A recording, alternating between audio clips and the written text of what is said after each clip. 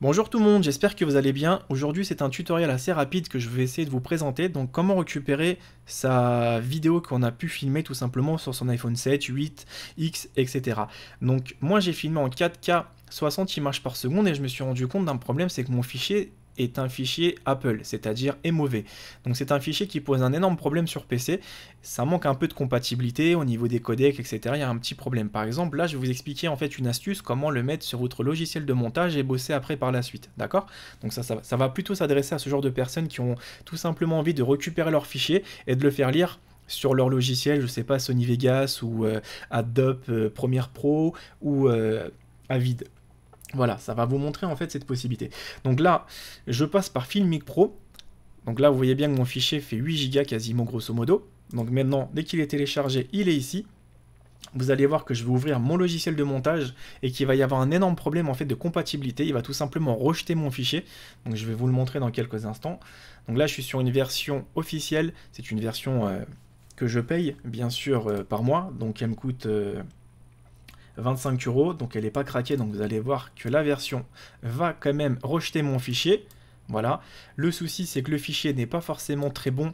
Euh, très bon en fait pour, euh, pour le logiciel donc après j'ai cherché un petit peu la solution à gauche à droite j'avais pas forcément trouvé mais c'est pas compliqué donc là vous, allez aussi avoir des petits problèmes en fait avec votre VLC VLC, c'est un lecteur qui lit normalement tous les fichiers. Donc là, vous allez voir, ça saccade, c'est un petit peu la merde, c'est moche, c'est pas cool.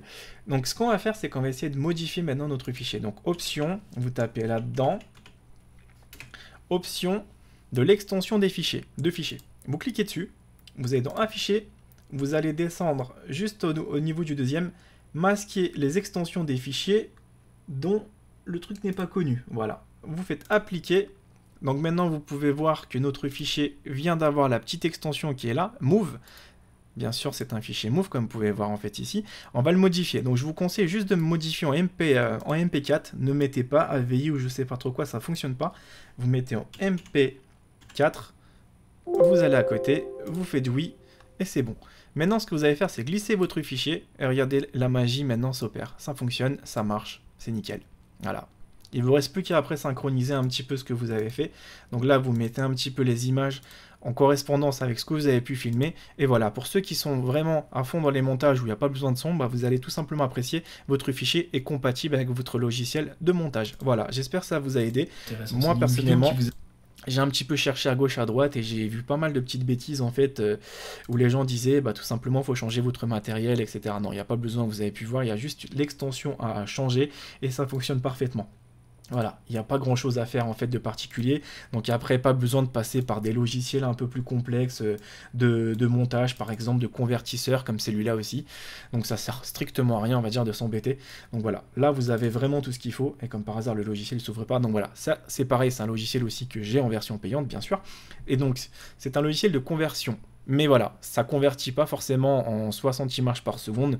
Donc voilà, j'ai trouvé une solution sans passer par ce logiciel, qui est quand même efficace et je pense que pour ceux qui sont sur les logiciels de montage, ça va vous aider. Merci à tous d'avoir suivi cette vidéo et j'espère vous avoir un petit peu aidé. Parce que moi personnellement, euh, j'ai pas trouvé la solution euh, nulle part et euh, du coup... il y a juste cette extension en fait que j'ai voulu tenter et finalement ça a marché et je suis quand même satisfait. Voilà, je vous souhaite à tous une bonne journée, une bonne soirée et je vous dis à bientôt. Gros bisous à tous